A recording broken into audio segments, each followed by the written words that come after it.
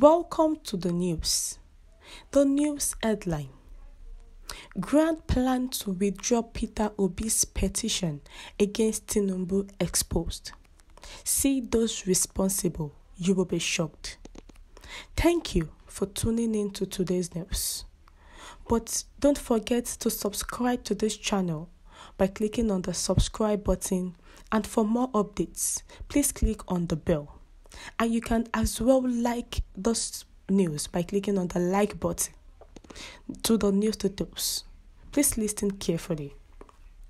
The Labour Party, LP, is experiencing an internal crisis as a result of a new faction that has emerged to challenge the national leadership of the party and undermine the efforts of presidential candidates Dr. Peter Gregory Obi to reclaim his stolen mandates amid the controversy surrendering the February 25 presidential election.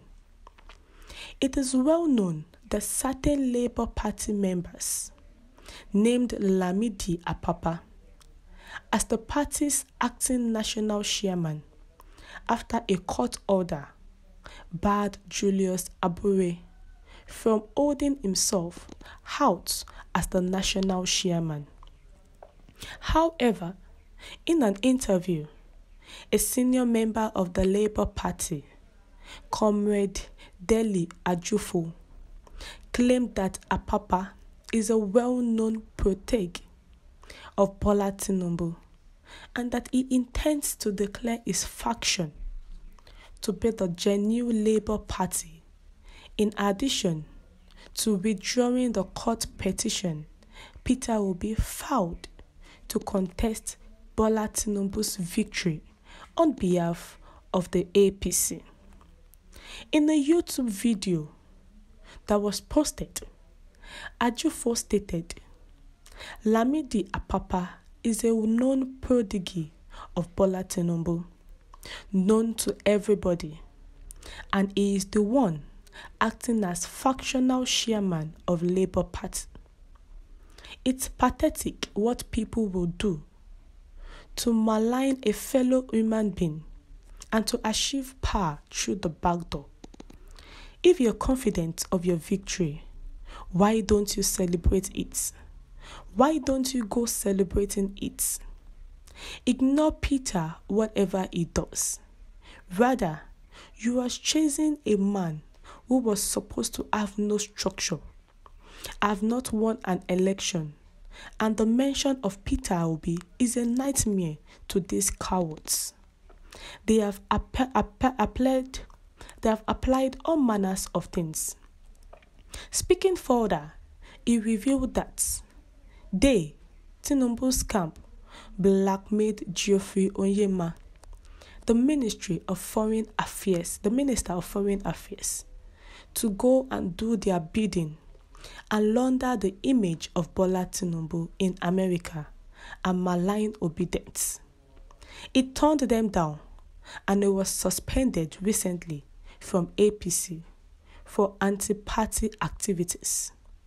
Consequent upon that, Lai Mohammed went to do the bidding of Bola Tinubu in America. Going back to the crisis within the Labour Party, he said that the Lamidi Apapa's faction will come and announce that they are now the authentic Labour Party and they are withdrawing the case of Labour Party against the results of Bola Tinubu and they will congratulate Bola Tinubu's fait accompli. The news is about the Labour Party whereby crisis has emerged within the Labour Party. The factional leader, who is supposedly a member, a, a, an ally to Tinubu, and is working with Tinubu indirectly also. Remember that Peter Obi has dropped and written a petition, different petitions against Tinubu.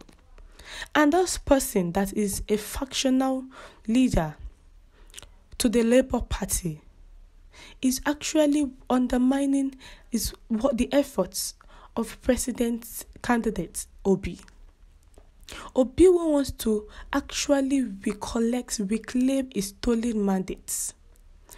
Obi who said who they said that he has no Obi they said that he has no is nobody. He has no structure. But within eight months, Obi, who is structureless, now has structure. At the mentioning of Obi, these politicians, these people shake. So why are you, if you know you won the election on a free and fair platform, why are you scared of Peter Obi? Why are you scared of celebrating your victory? It's pathetic what people would do to malign a fellow human being and to achieve power through the back doors. So now, the, in the Labour Party, the crisis which emerged was the one who is actually working indirectly with Bola Tinubu. And very soon, you, the, the, the news will circulate that the Labour Party has actually withdrawn the case against Bola Tinubu. That is why they are working with the so called faction lead. We have come to the end of the news. What's your take on this? Kindly share your comments in the comment section. Thank you.